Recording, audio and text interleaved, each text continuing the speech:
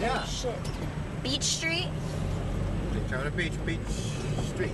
Beach Street, which is a, a semi good place to hang out. Where's Jacob's Well?